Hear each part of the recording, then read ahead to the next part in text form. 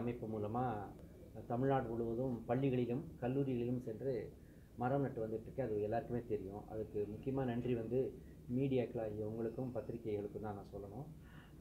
கிட்டத்தட்ட ரெண்டாயிரத்தி பத்துலேருந்து நான் அதை பண்ணிகிட்ருக்கேன் இப்போது கிட்டத்தட்ட எட்டு வருஷங்கள் ஆயிடுச்சு. இதில் என்னால் முப்பது லட்சத்துக்கும் குறைவாக தான் நட முடிஞ்சுது. இருபத்தொம்போது புள்ளி மூணு லட்சம் மரங்கள் தான் இது வரைக்கும் என் கணக்குக்கு நட்டிருக்கேன். இது மேக்ஸிமம் அதில் எல்லாமே வளர்ந்துருக்கும் காரணம் என்னென்னா நான் வந்து பொது இடங்களில் நடலை. பள்ளிகள்லேயும் கல்லூரிகளில் தான் நட்டிருக்கிறேன்.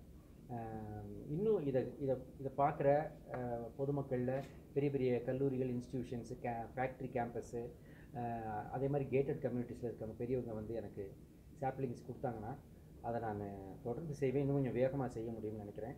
இந்த தேட்டர்ஸு இல்லை ரிலீஸும் இல்லை அதனால் விமர்சனங்களும் இல்லை. நினைக்கிறேன். ஏன்னா அவங்க படம் ஃபஸ்ட் டே ஃபஸ்ட் ஷோவே அது தேட்டரை விட்டு வெளியே வந்து அந்த படம் நல்லா இல்லைன்னு சொல்கிறதெல்லாம் பண்ணிகிட்டு இருந்தாங்க. அதை வேண்டாம் அப்படின்னு அவங்களுக்கு நான் ரெக்வஸ்ட் வச்சுருந்தேன். மெயினாக இப்போ பத்திரிக்கைகளில் வர விமர்சனம் வந்து அந்த படத்தை பார்த்து ஒரு சின்ன அவகாசம் கொடுத்து இப்போ ஒரு ஒரு உதாரணத்துக்கு ஒரு ஆண்டு விடனோ ஒரு குமுதமோ ஒரு தினத்தந்தியோ தினகரனோ தினமலரோ யார் எடுத்துக்கலாம் அவங்க அந்த படம் வந்த உடனே ஒரு அவகாசம் கொடுப்பார்கள் பொதுமக்கள் அதை பார்ப்பதற்கு. அதுக்கப்புறம் வந்து அந்த ப- படத்தை பற்றிய ஒரு விமர்சனத்தை வைப்பாங்க. அது வந்து பொதுமக்களின் மொத்த எண்ணமாக இருக்கும் அது. ஏன்னா எல்லாரும் அதை பற்றி பேசியிருப்பாங்க இல்லையா? அதனுடைய வடிவம் தான் அவங்களுடைய விமர்சனமாக இருக்கும். ஆனால் இப்போல்லாம் நிறைய இணையதளத்தில் நிறைய இளைஞர்கள் அவங்க நிறைய நல்லது செய்யலாம்.